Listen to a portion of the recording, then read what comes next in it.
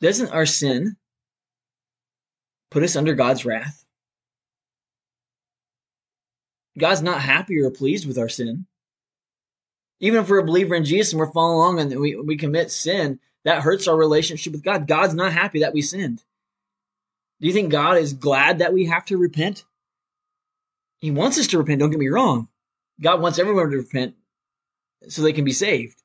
He wants us to repent when we sin against Him. But God's not happy that we have to do it. But we do that because we know how important it is.